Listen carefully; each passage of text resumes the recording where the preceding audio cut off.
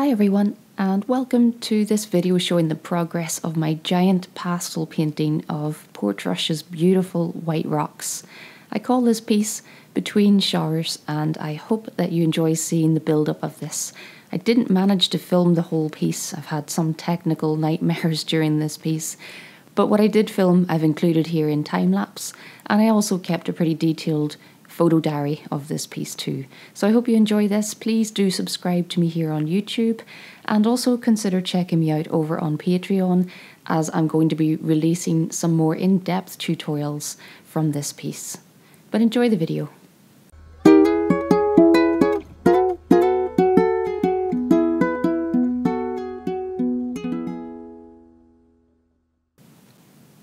So the first thing I do is to get the whole thing sketched out. I'm working on velour pastel paper.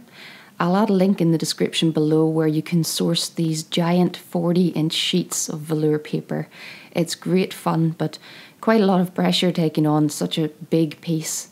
This took me uh, about a month in total working on it on and off most days for a few hours each day. It really tested my patience, this one. And here I'm just starting on the colour work, adding some colour to the horizon, but then taking some time to map out all those complicated clouds. You can see here from the photo reference just how complicated the sky area was. I've never tackled a sky so complicated and it really nearly drove me insane. But in this stage, I've mapped out most of the sky in a mid-tone and then just to the right you can see where I'm starting to come in with both the darker tones and some lighter tones to start and try and pick out the structure within each cloud. And here you can see that I've done that right across. Now everything still looks very blocky and too much contrast here so now is the time when I start coming in with smaller marks and start to soften everything.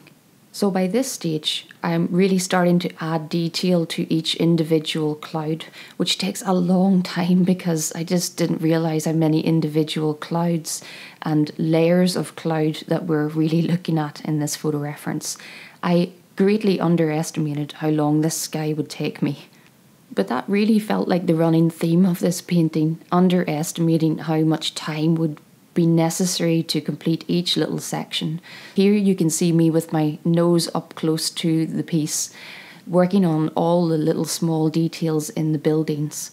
And that part of the process takes me another good three days or so just to get right along the horizon. And I really wanted to get each little building as close to the right place as possible, as I know so many people from this town, and quite often they point out their houses in my paintings. So I want them to be roughly in the right place. And this is just a little bit of detail from that stage where you can see all the little colourful marks used to create the buildings.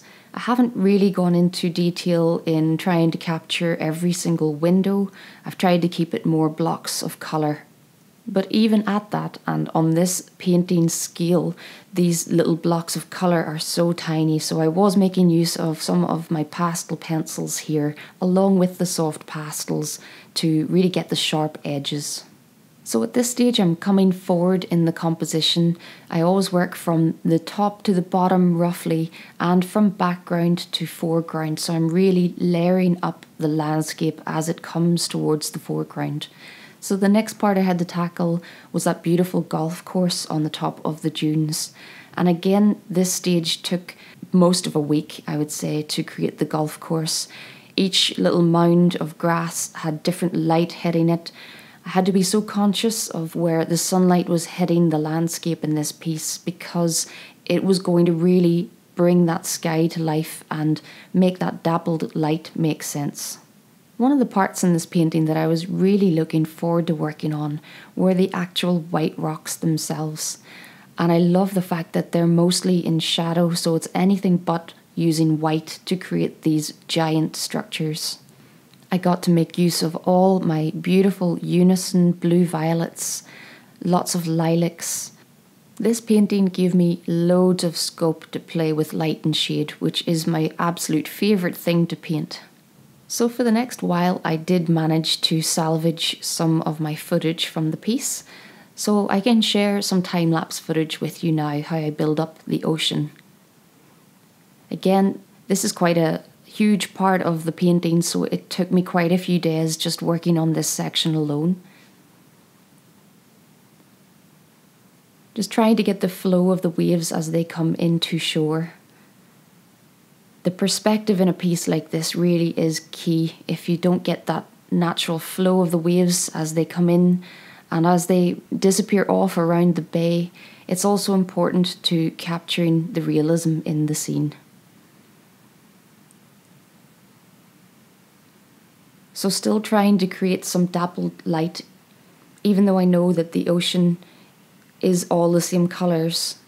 I'm still trying to use some shadow colours where the clouds are stopping the light from hitting the sea. But then you can also see some bright white on the tips of the foam, and those areas are obviously catching some sunlight through the gaps in the clouds. So, definitely one of my trickiest paintings to date, all because of that complicated lighting. I knew that that sky was going to cause me trouble from day one, but I had no idea just how difficult it was going to be. So, at this point, I'm not finished the ocean yet, but I clearly needed a break from working on it as I start to build in a little bit of the contrast on the foreground cliffs. At this point, it just feels really good to reach the foreground. But before I go any further on the cliffs, I know that I need to get the ocean just behind the cliffs finished so that I can make the nice grassy edges along the cliffs. So I work on some of these foreground waves. I really like the angles that they come around the cliff, giving a real sense of movement to the whole piece. And also because these waves are closer to me, I can see a bit more detail in them, so I'm adding a bit more detail to the foam in these waves. As you progress further into the distance away from you, the waves need less and less detail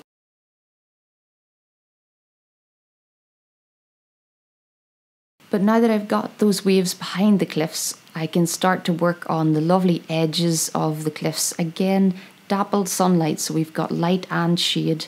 You can see my very messy hand and some of the many green colours and warm tones that I'm using along the cliff edge. But still, I have some work to do on the ocean.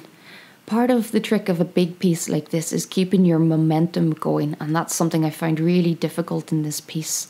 I'm not used to working on one painting for an entire month. I like to get things done and out and on to the next thing all the time. So it was really hard to come back to work at the same thing each day and only get a tiny amount done. The way I deal with this and to not let myself get too bored on one area is to jump around a bit. So my switching from the ocean to the cliffs so often is all about keeping my motivation going, giving me a fresh challenge to look at when I'm just bored of looking at complicated waves for days on end.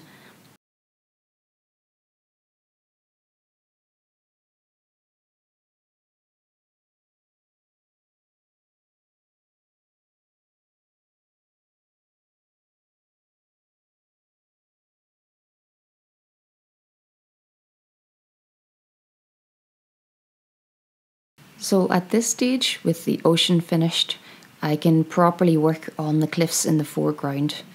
Like every other part of this painting, it was all about trying to create the light and the shade. Getting those nice dramatic shadows everywhere was my whole goal for the piece. But this giant landscape wouldn't be quite the same without some of the tiny life that was on the beach.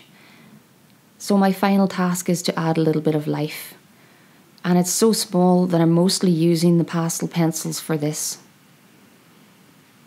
Not going into huge amounts of detail on each figure, but I think it certainly helps just to have some little figures dotted down there. So I hope you've enjoyed seeing this piece and how it builds up. It's not one that I'll want to repeat anytime soon but it certainly does feel good to reach the end of this size of a project. So, thanks again for watching. Please do check out all my other content on my YouTube channel. I have lots of tutorials if you'd like to see in more detail how to use pastels.